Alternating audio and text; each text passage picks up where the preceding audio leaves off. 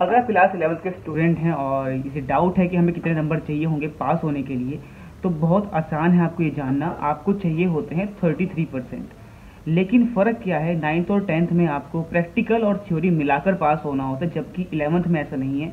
आपको दोनों में अलग अलग पास होना पड़ेगा। जैसे एग्ज़ाम्पल अगर हम लें, आप जानते हैं सौ नंबर में से अगर आपका सौ का पेपर है तो थर्टी थ्री वाला पास हो जाएगा, ठीक है? क्योंकि थर्टी थ्री परसेंट चाहिए तो सौ में से अगर आपको थर्टी थ्री मार्क्स आ रहे हैं तो आप पास हो जाएँगे।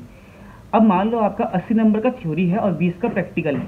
तो अगर आपके 80 में से पैंतीस नंबर आ गए थ्योरी में 35 मार्क्स आ गए हैं 80 में से तो आप प्रैक्टिकल में ज़ीरो भी ले आएँगे ना नाइन टेंथ में तो आप पास हो जाएँगे, क्योंकि आपके पैंतीस तो पहले ही बन गए थर्टी से ज़्यादा बन रहे हैं तो आप तो पास हो जाएँगे नाइन्थ और टेंथ में, लेकिन इलेवंथ में ऐसा नहीं होगा।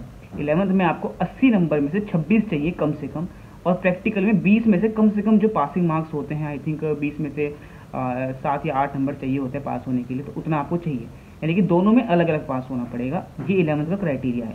तो यानी कि आपको अस्सी नंबर का पेपर छब्बीस वाला पास हो जाता है। सत्तर नंबर का पेपर हो रहा है तो तेईस वाला पास है। सत्तर वाला में से तेईस वाला पास होता है। सौ नंबर वाले में से थर्टी थ्री वाला पास होता है।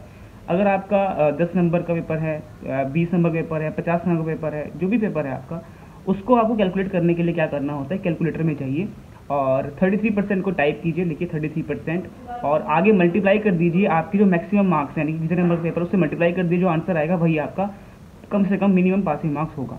तो आप सभी के लिए इंपॉर्टेंट इन्फॉर्मेशन थी, आपको समझ आया। कोई भी डाउट तो कमेंट कीजिएगा।